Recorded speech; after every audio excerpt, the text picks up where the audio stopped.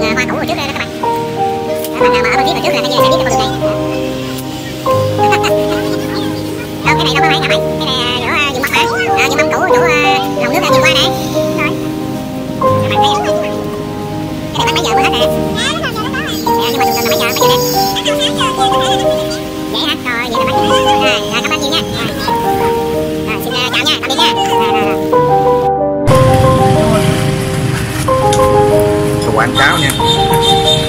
Và cái bánh mì ngon nhất ở Phan Thiết này.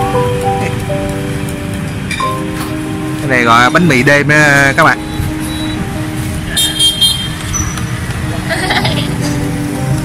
Chỉ có ờ, cái góc ờ, ngã ngã tư Nguyễn Hoàng xưa đó các bạn ạ. ăn An về là nó là đường Nguyễn Huệ đó. Gần cái vườn hoa cũ hồi trước đó, các bạn đó, bạn nào mà ở Phan Thiết hồi trước là coi như là sẽ biết cái con đường này. Đó.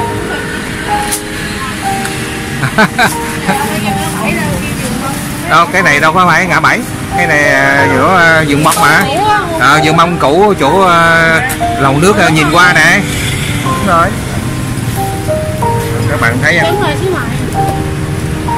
Cái này bán mấy giờ mới hết nè?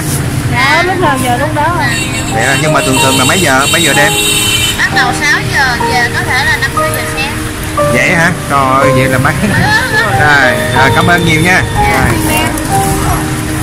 rồi xin uh, chào nha tạm biệt nha. Rồi, rồi, rồi.